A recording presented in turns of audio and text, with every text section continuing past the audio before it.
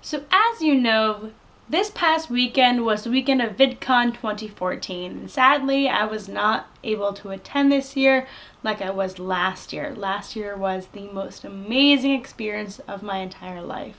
Sadly now I'm 3,000 miles away so it is a little bit difficult to get out there at this point in my life.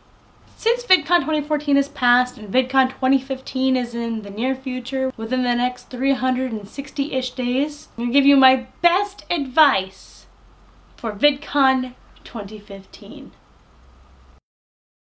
If you want to make a great first impression, stalk your favorite YouTuber at VidCon. I saw a million and one fangirls following Shane Dawson around everywhere, not just the convention center, but the Hilton Hotel as well. It was just past the Starbucks. And oh my goodness, he looked so happy. If you checked out Evan Edinger's daily vlogs from VidCon this year, you will see the same thing happening to Mr. Joey Graceffa. And he looked like he was having a blast with security there and everything. Great idea. Follow your favorite YouTubers around like crazy. OMG guys, look, there's Nick Botero, let's get him! No. You should get up at 2 o'clock in the morning when Starbucks isn't even open to queue up to meet your favorite YouTubers at their meet and greets.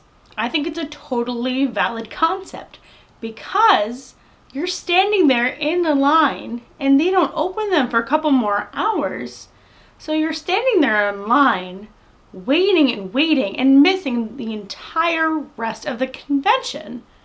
I mean, that makes sense, doesn't it? Don't pack any of your own snacks. Everything in Anaheim is very affordable. It is, especially if you're on a budget. Get a one park ticket for Disney Day on Sundays. Only go to the park where they're taking the VidCon Disney Day photograph. Coming from someone who has worked at Disneyland themselves, there is nothing very special about both parks. Pick one, they're not much different.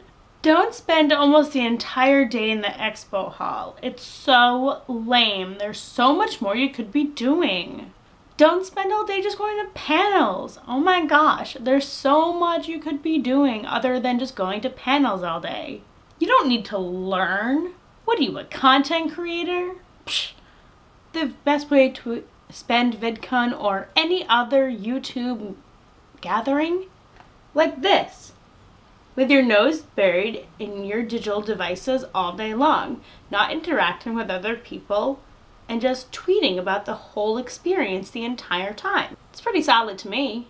Obviously, this is a disclaimer. These are things you should not be doing at VidCon. Yes, you should not stalk your favorite YouTubers. They're people, just like me and you. Yes, do not queue up because it wastes so much time unless you're a fan and that's your sole purpose for going to VidCon. Then go for it. If you're a content creator like all of us here on Five Freakin Friends, then you want to experience more VidCon. And that ties into not spending it on your mobile devices the entire time because there's so much more to it and there's so much you can take away from VidCon, so much you can learn and experience. That's what VidCon is, an experience. Do bring your own snacks. I know firsthand that living in Southern California is expensive. You don't want to be buying food all the time. You want to maybe limit yourself to one big meal and one small meal a day. Even if you're only there for a day, try to get a park hopper pass at Disneyland.